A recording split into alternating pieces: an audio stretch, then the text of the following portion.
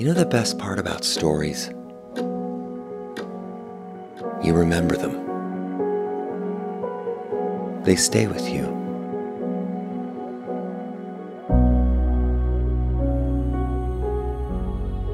And I want to tell you a bedtime story.